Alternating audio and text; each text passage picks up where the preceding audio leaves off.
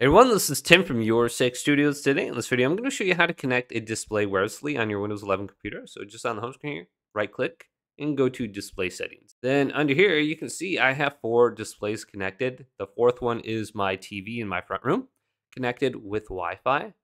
So what I want to do is go to multiple displays right here and go to the drop down arrow. Then you can see there is an option to connect display wirelessly. Just go to connect and my available displays will appear under here.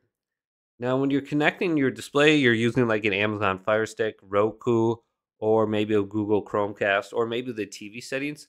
Make sure you put into the display mirroring option on the Amazon Fire Stick. All you have to do is hold down the home button, and there will be an option called display mirroring.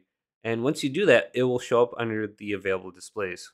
So mine just popped up on here. It's called Lord's Best TV. So I can select it right here. And then also here's my 55 inch ONN Roku TV that's on here as well.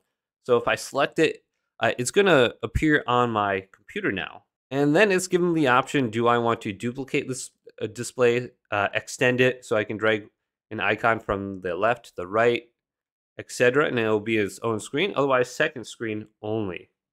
So choose one of these options. And then here it is, once again, showing up under here. And you can rotate this anywhere you want in this order. If you don't want it to the far right, you can put it right in the middle, or I believe you could put it on top too, or bottom.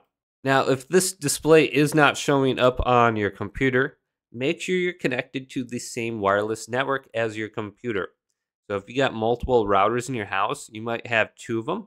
One's on the opposite router. So just make sure they are on the same network and it should be able to be detected. Now, if the display looks a little bit goofy, you can change the resolution and the refresh rate. Just select it on the top and scroll on down until we get to advanced display. And you can see the output here. Uh, here is the refresh rate. We can bump this up to 60. That would be nice. And then if we go back to display, we have the resolution right here. So if you're connecting a TV, probably want to bump it up to 4K so actually it looks nice. So it would be 3840 times 2160 and then get to at least 60 hertz. Otherwise, it's going to look very laggy. So hopefully this video did indeed help you out. If did, leave it a big thumbs up and subscribe my channel down below for more tech of videos coming up next on Your Six Studios.